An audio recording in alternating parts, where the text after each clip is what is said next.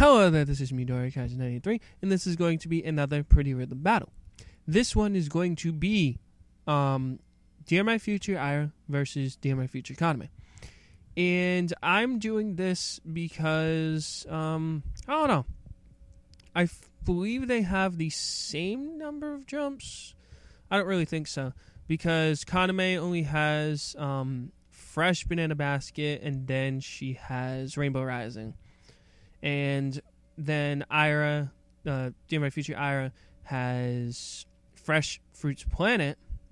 Um, she has Eternal uh, Eternal Infinity Hug, and then she has um, Aurora Rising Dream, which she performed in episode forty four. So I don't know.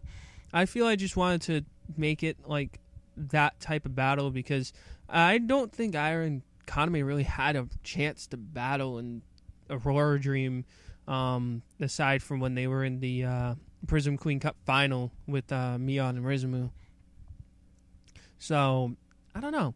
I really wanted it to happen, like if it were sort of like anything, but I'm not gonna knock DMF for what they did because it just finished. Um, I believe it was Friday, so I really love the series a lot. I don't know how much times I'm gonna say that, but yeah, I feel they did right, and um, well, I think out of both of these, um, out of both these combatants, combatants, I'm sorry, but out of both of these Prism Stars, I think, well, unfor- uh, not, but yes, Aira will win. Aira would win because it's Aira. She has Infinity Hug, and well, Aurora Rising Dream is basically the uh, like the ultimate jump like the the real ultimate prism jump. So I don't know.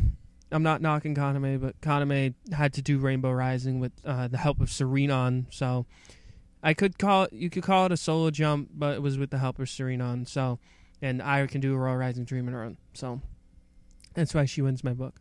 But you can vote in the comments to uh, say who do you think would win? Would it be Kaname or would it be Aira? Again, this has been a predictive battle. I thank you for watching, and I will see you guys later.